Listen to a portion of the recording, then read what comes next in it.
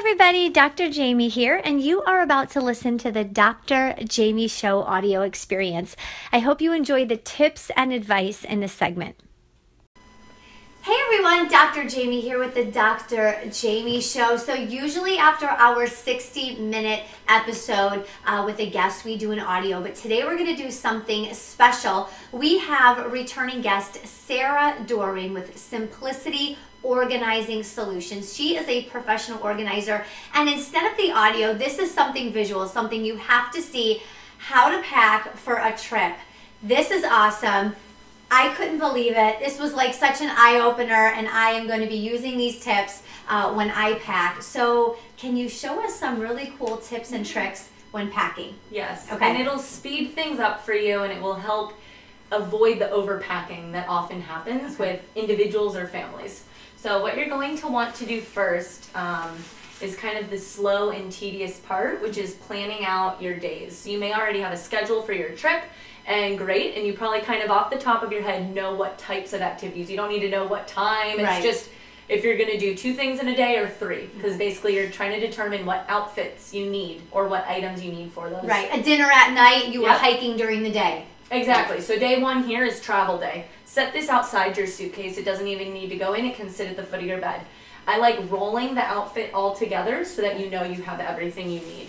So workout clothes are a great thing to roll because it's certainly not going to get organized in rolling. Actually, really helps a lot of clients. Um, It gives a lot of space. it does, and it just creates a unit. Mhm. So you're not having to pick out this, this, this, and this. It's Mhm. all together. So the nice thing is here, I need socks, undergarments. This shirt is like one of those Lululemon that's together. So Okay. it's like a sports bra and a shirt. I love those because it's super easy and convenient. Shoes, you're gonna want to bag those in plastic grocery bags just to kind of keep the dirt or dust out of your suitcase. So that's the first thing that's on my list. And then day two, there's going to be a breakfast, brunch, pool time, and dinner, a casual dinner. Okay. So you're going to want to take sticky notes and do like day two and label each outfit. Okay. So for brunch that day, I've labeled it day two, brunch, and everything I will need is inside this outfit. Nice. So she has a necklace in there. She's got her undergarments that match this particular Yeah. outfit. And then the shoes, you can't roll your shoes up in your outfit, so just put it directly on top or underneath in your suitcase, and that's a very helpful tool. Perfect. So you're always going to want to bring with you your essentials. So essentials could be something as small as this that I got from United Airlines just to kind of help me keep everything organized in here. And you're always going to want to keep it in your suitcase even when you get back. Okay. Because it's something where these are small items that you're not going to be using every single day. They're almost like refills of the products you like. Okay. So it doesn't matter which conditioner and shampoo bottle is labeled. This Right. isn't what's in It's here. whatever you want It's to put in whatever you're using at that time. Yep. So a lot of clients keep way too many of these little travel items. It's way too much to keep track of. Takes up way too much space. Donate those to a homeless shelter. Keep only a few of them so that it's easy for you to find and it's all compact together here like toothpaste, whitening strips, vitamins. I love using these types of binder clips for my headphones. I keep a pair of extra headphones Perfect. with travel all the time. Mini toothbrush and hairbrush.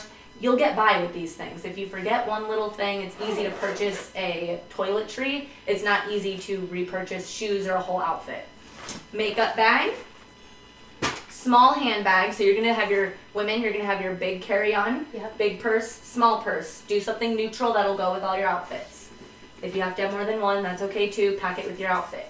So on day two, I also mentioned we're doing the pool. So inside of this cover up is my bathing suit, is sunscreen, very That's important. great. Yeah, so it's like packing everything you would need for the pool. Some people, some clients will even take the beach towel and then wrap it around this whole outfit. That's a great idea. So that when you're going to the beach, it's like, oh, let me get ready. It'll take three minutes. yes. Put it on, get ready to go. Perfect. It just it allows you to pack only what you need, but you're not going to miss anything because you're thinking the outfit through before you're packing it.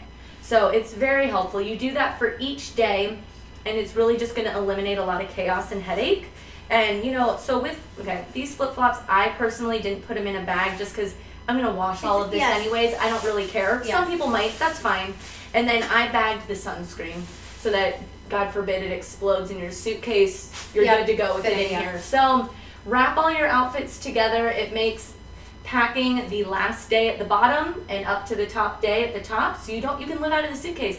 You don't even have to hang anything. So after you write down all the things that you're going to do, you Yes. start with day four, let's say, and then day three, day two, and then day one is at the top. and put your essentials on top because Okay. you'll need those Right maybe away. mid-flight. You're trying Yep. to freshen up before you see people. Keep those on the top. Excellent. Yes. And I and one last tip that I love that you shared during the 60 minute was unpack right away. Right. Okay. Keep your dirty clothes. Keep this pocket open here. Put all your dirty clothes inside of that so it's separate from your clean clothes.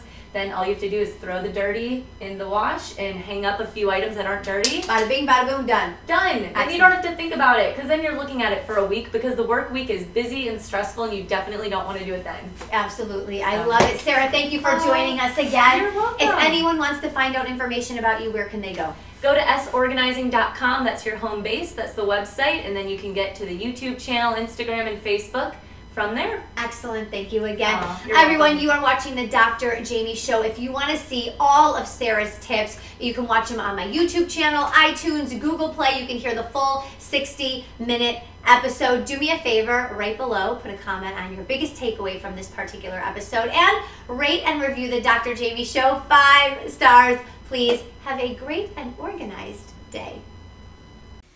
Thank you so much for listening to the Dr. Jaime Show audio experience. I really hope that you enjoyed the tips and advice given on today's segment. Do me a favor and go to iTunes and my YouTube and please subscribe to that channel. Every subscribe, every like, every follow helps the Dr. Jamie Show grow so that we can bring you the best guest and the best content possible. And of course, as always, if you have any feedback, feel free to leave that as well. Talk to you soon.